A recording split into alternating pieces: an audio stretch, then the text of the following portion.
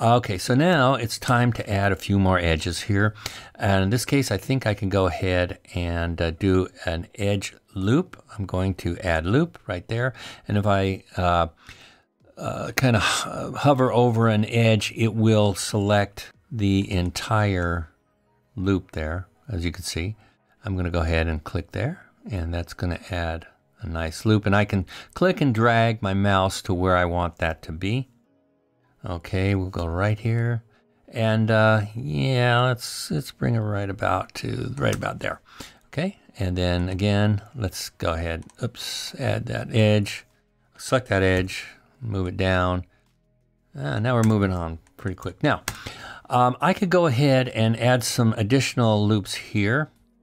Uh, but before I do that, let's go ahead and perspective view. And I want to I want to go ahead and bring this, uh, uh, extrude these two polygons up to the top to be the top collar of this shoe. All right, or the shoe form. So I'm going to hit the B key for bevel. Bevel is also up here in the toolbox. And I'm going to bring up the uh, properties of the tool. And uh, I, I'm going to pin it right there.